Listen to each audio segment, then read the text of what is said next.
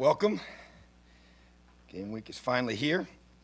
I uh, just want to begin by uh, um, saying that uh, Brandon Dawkins has decided to leave the program, and uh, we uh, um, wish him nothing but the very best. He's a fine young man, and uh, um, very excited about the the two guys that I consider our top two quarterbacks, um, and Peyton Ramsey and Michael Penix, and and the work that they've done since they've been here and, and throughout fall camp, and have done a tremendous job competing against each other and and uh, really doing a great job of putting themselves in position to, to win the confidence of their teammates and our coaching staff. So I uh, love what where they're at. They just got to go out and get it done on game day. And then uh, going to be moving Reese Taylor to quarterback. And uh, really, uh, I think you know how I feel about that young man and how special he is. And so uh, he's been working on offense throughout camp. And so, um, but uh, going to put him in that quarterback's room, allow him to be able to um, get grounded there and uh, utilize him to the, to the fullest. So I'm very excited about that room and what that room has and, and how they're going to be able to work well together and, and uh, move it move in the, in the right direction. And then also uh, excited about uh, about kickoff. Feel like our guys have really bought in uh, this offseason and really excited to be able to see them compete. And we went out and recruited uh, to try and address our depth. And uh, a lot of those guys are going to have an opportunity this weekend to, to compete for the first time as Hoosiers and, and uh, multiple positions on both sides of the football. And uh, that's what excites me the most is to be able to see those, those new guys uh, um, be out there and being representing our great university down in Miami. So excited about the start of the season and really looking forward to, to game day. It'll be here very, very soon. Questions? Guys, if you have a question, we'll get you the mic, okay? Uh, when you told Brandon the news that he wasn't going to be a starting quarterback, did he give you any indication that he was going to want to leave the program? Not at that point, no.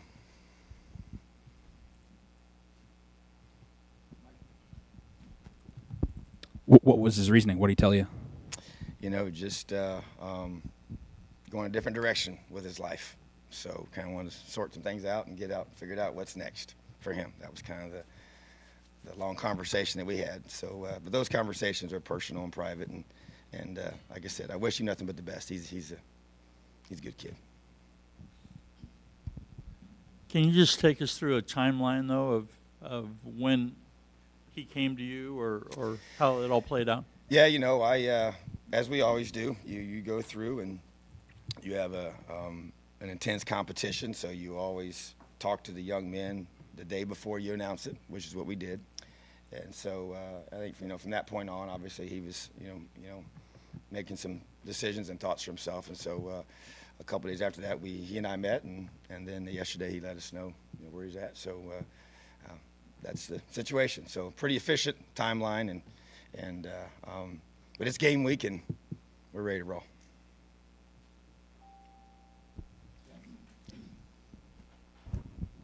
Can you just take us through? You talked about, you know, when you were going to name a starter, you were going to definitely give them a little bit of time before the mock game. Mm-hmm. So, kind of like how many days of as the one, just the true starter, is, is Ramsey going to have, you know, before you guys head down to FIU? Yeah, you know, he uh, um, has had several days. And the thing about it, which is really what I feel good about with whoever we decide to go with, was the ability to give them a lot of reps with the ones. We So we rotated those guys exclusively. Um, but uh, I. Uh, um, once I made the decision and, and, met with all three young men and told them um, who was going to be, you know, starting, then Peyton Ramsey's taken all this, the one rep since, and so it gave him a chance to get a couple practices under his belt, get a chance to go through the mock game, a chance to go through um, everything that we do this weekend, which is all game planning for for FIU. So he's had quite a few reps, uh, but he he as well as the other two guys throughout the competition were with the ones quite a bit and had chances to both, you know, take him during practice reps you know, during scrimmage reps, uh, during, uh, you know, end of the practice finish drills where we're going through situations and, and working on that. So, so feel like that he's had a lot of quality reps with the ones. Coach, what do you, what has impressed you, and what do you really like about the offensive side of the ball this camp? Yeah, the thing that kind of sticks out to me is uh, um, the multiple guys that we've been getting the ball to. You know, I think that's a key thing that you want to be able to do is distribute the ball to your guys that can make plays in space, and and our receivers have uh, done a, a really good job. I you know I say that comparing back to last year's fall camp and kind of comparing the two, and I actually went back and watched film of the scrimmages from from last year and different practice sessions, and just trying to compare where we are and, and what the players look like physically and how they're moving and stuff. And so just encouraged by the the offensive production by our receivers, you know, and a lot of different guys catching balls, and and uh, that's been encouraging. And the number of running backs that have been have shown up as being guys that are making plays, you know, offensive line getting push in the run game and and uh, being able to um, have just a consistent group of guys work together there that we didn't have in the past, you know, and so those things I think have helped help those guys feel more confident going into week one and, and feeling good about their execution. You know, obviously it's like any, anything else. You know, you have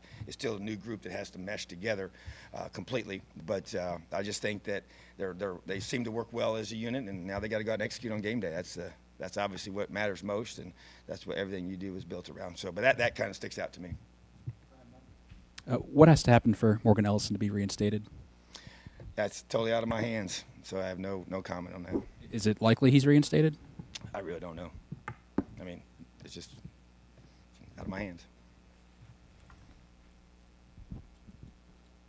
Coach, uh, a couple years ago was your first uh, game here as D coordinator uh, down at FIU.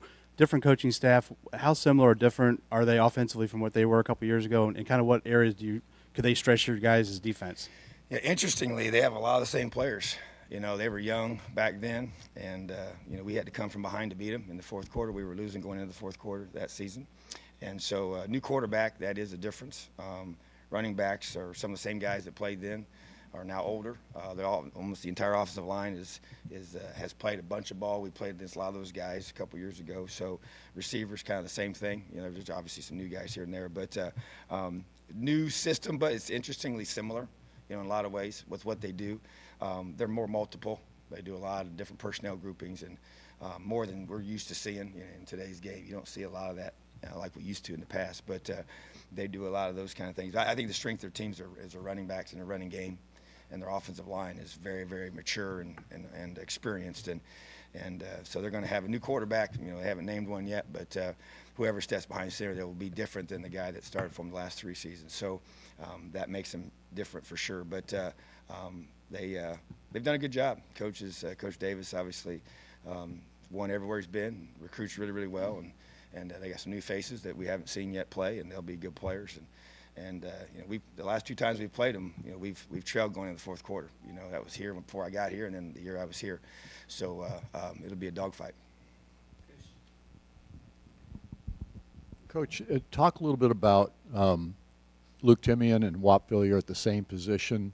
Does that mean that they, generally speaking, will not be on the field at the same time, or is that just a part of how your two deep? Looks? I think it's kind of part of how the two deep looks. They're on. They'll be on the field quite a bit, you know, and and it just kind of when you list, you know, you kind of list things a certain way, you know, in terms of just one personnel look, and then you'll be able to find ways to. You know, those are two of our better players, you know, and uh, getting them out there together, and, and obviously keeping them fresh too. You know, they do a lot of running and and uh, with with what the way we operate offensively. So, um, but yeah, those are two of our better playmakers on offense.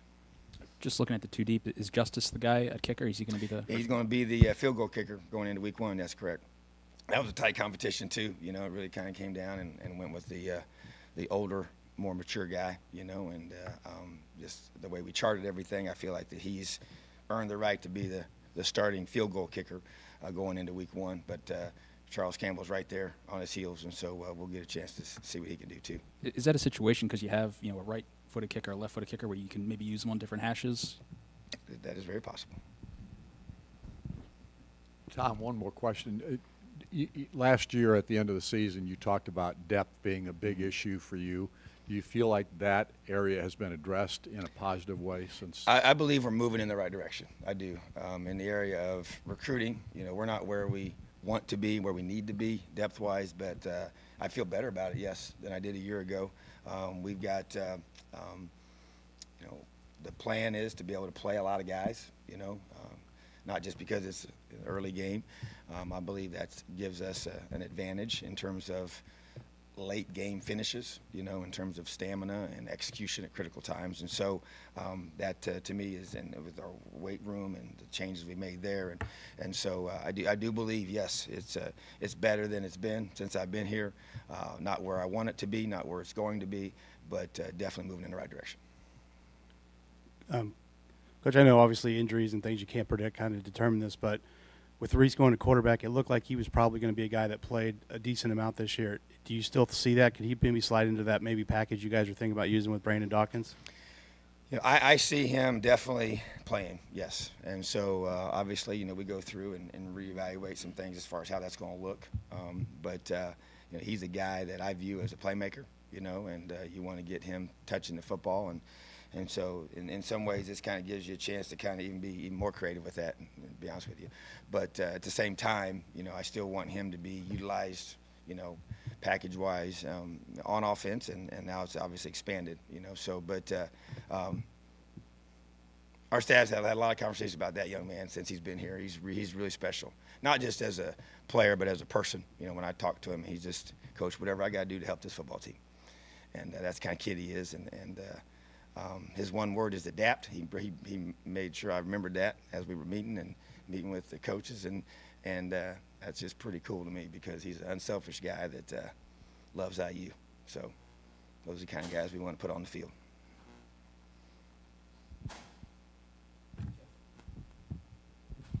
You'd mentioned Thursday when you were talking about the quarterbacks that, that Michael Penix probably, I think you said, will play early.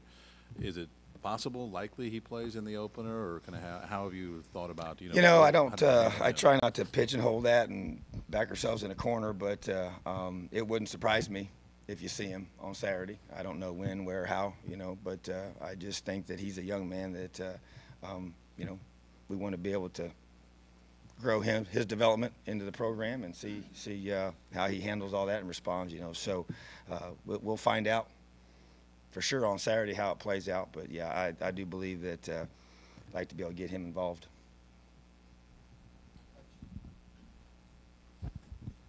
What did uh, what did Hendershot do to beat out Dorris at tight end?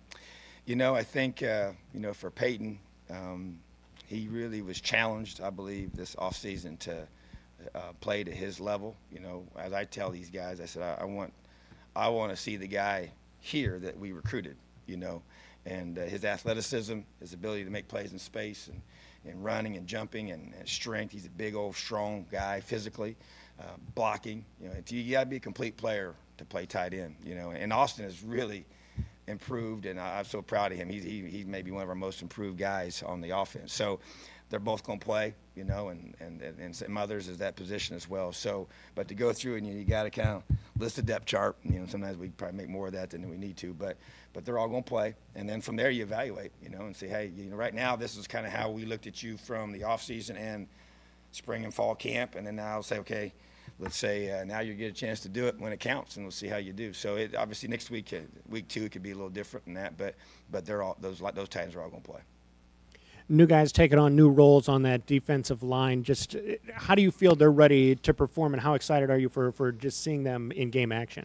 Yeah, I think that uh, you know Jacob Robinson has really elevated his leadership. You know, um, obviously he's been here for a long time, and I love the way he owns owns the defense on the field and how hard we practice and how we run to the football and and getting the guys together and getting their mindset right. So, um, you know, he's a key. You know, and Gavin Everett's so solid and in there and been a huge uh, addition to be able to be a guy you can count on and having Nile back and his ability to produce. I tell you, Allen Stallings is another one that's really grown and developed, you know, this offseason and, and his physical strength and stamina. And, and uh, so love that group. And there's on and on. And, and uh, Jerome Johnson has continued to develop, and he's got to be a playmaker for us. And have Michael Barwick back and Caden Samuels added to the group. And, you know, Jamiris Bowen's another guy I've been extremely encouraged with his, his growth. So um, I'm anxious to see those guys play, you know, and uh, we're going to count on them and we're going to rotate them and we're going to play a bunch of them. And I didn't even mention some of the guys. There's some freshmen that are going to play, and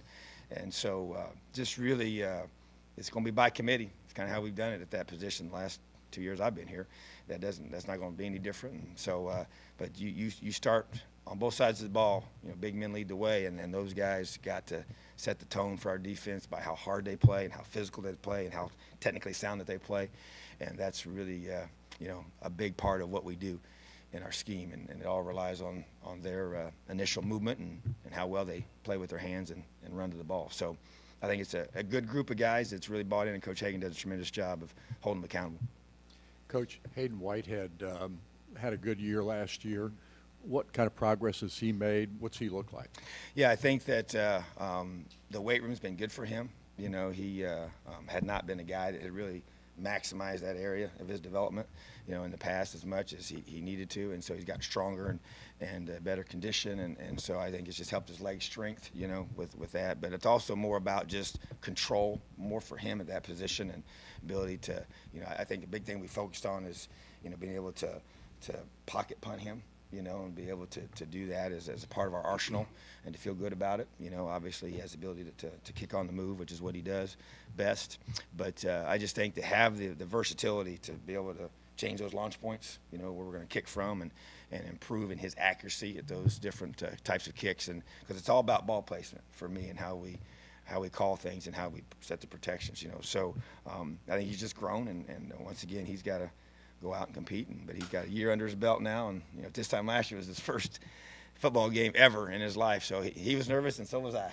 So I, I wasn't sure what was going to happen, but uh, but obviously he did a great job. So uh, now he's pr- pretty comfortable and kind of knows even just even just kind of knowing how to warm up before a game was something he had to kind of figure out because I thought he was kicking a gazillion balls before, and I just kind of had to pull him back and talk to him about that and get him get that number under control. And and uh, so, anyways, I just think you get year two for him as well as as uh, be able to just keep being a dependable guy that that uh, does a great job of flipping the field.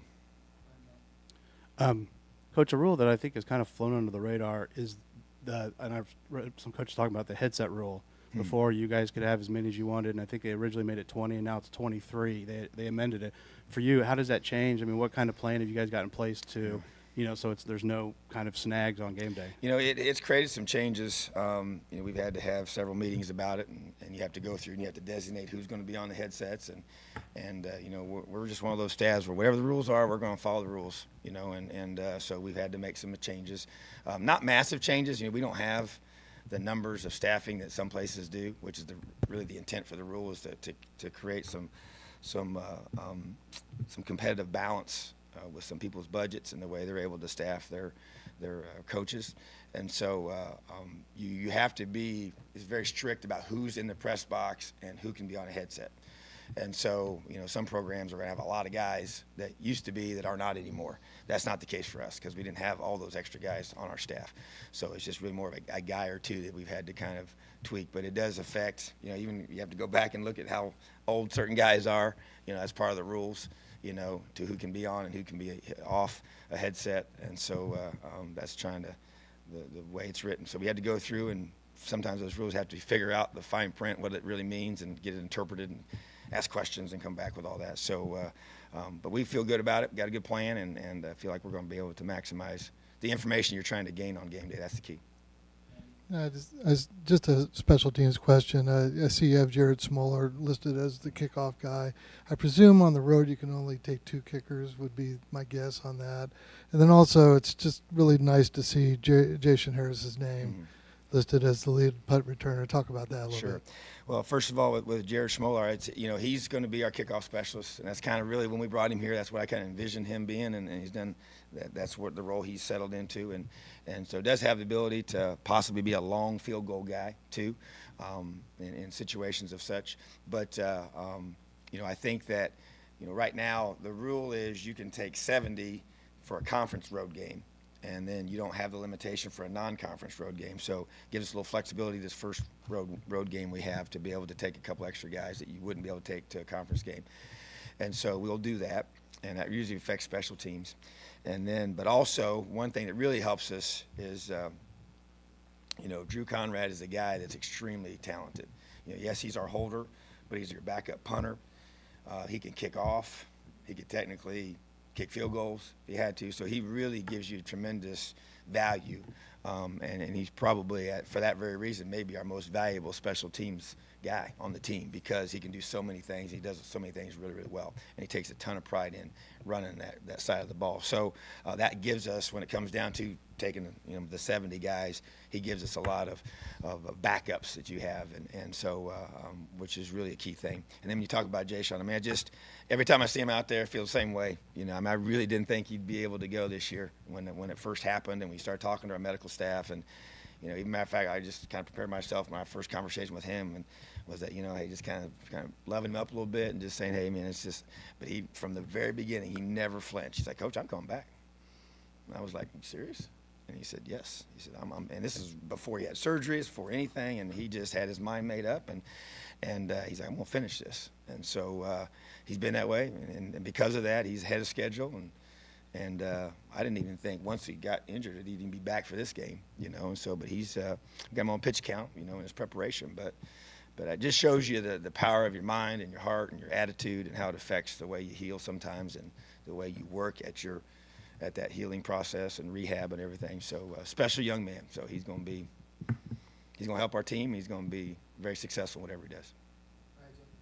On Marcelino Ball, just what have you seen that maybe two or three things he really has improved on from last year? And how important is his production for your defense to do what you want it to do? Yeah. First of all, very important.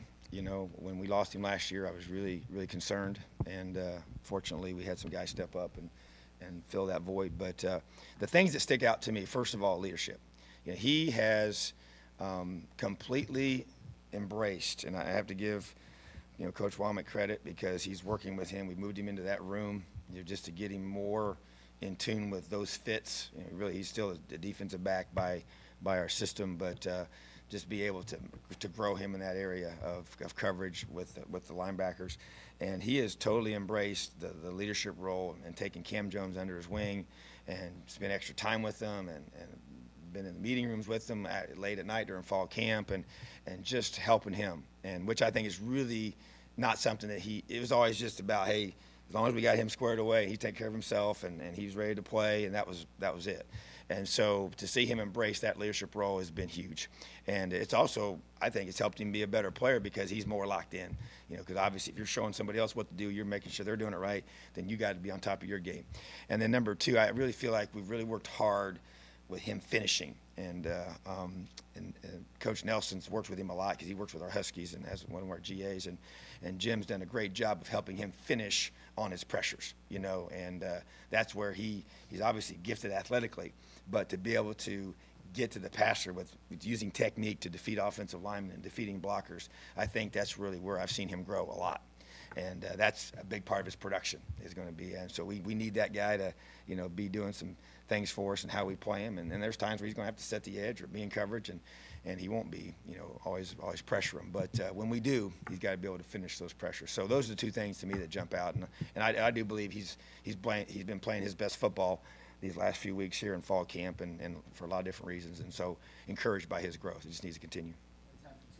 Real quickly back to J-Shun, just for a guy who's seen limited time on the field, has have you ever been around a player who has been able to make more of an impact and set more of an example, despite the fact that they've had limited time on the field? Yeah, prob- probably not. not. Not a guy that's, that has been away this much. It just speaks to his character, the way he's respected. He's one of those guys where our, our team will tell you when he speaks, the guys listen. You know, and uh, whether it's you know after practice and little things the guys need to do or not do, and and uh, um, he's earned their respect for sure by the way he's handled the adversity he's been through. And I think that you know we all know life. You know, when when life um, throws you curves or throws you uh, heartaches and tough things, that's when you grow. You know, we don't like it, but that's we know those times cause us to expand and, and grow and strengthens us, and, and that's what it's done to him. And I think it's caused him to be, you know, viewed a different way too because of what he's been through, and he's consi- been consistent in his attitude and his approach to life, and, and hasn't chosen to feel sorry for himself and, and complain and, and do all this and, and, and whatever else he could be tempted to do when things don't go your way. And so um, I, I just think that he's, uh, you know, he's one of our leaders, you know, and he was voted on our leadership team. And, and I think that's just kind of, you know, an example of, of how the, the guys view him. And we're just really proud of him. And uh, I just think that he's, uh, he was raised right, and he's taken that, you know, those that have invested in him along the way have, should be very proud of him. Andy, last They have a connection to higher powers to get the kind of weather you needed uh, this week. The heat and You know, humidity's back. I agree. You know, it was uh, it was warm even during the the mock game. It started getting warmer, and it feels uh, you know it's, it's got the Florida feel to it out there right now. So it's very important. You know, because you can't simulate that. You can talk about it and you can do all these different things, but you got to physically feel. And I've lived down there for many many years. So, and we got a big chunk of our players that are from the South. So they're uh, um, you know, they'll they'll be ready for that part. But yeah, we, we, we need as much heat as we can get, and it's it's definitely here. Thank you. Have a great day, Elio.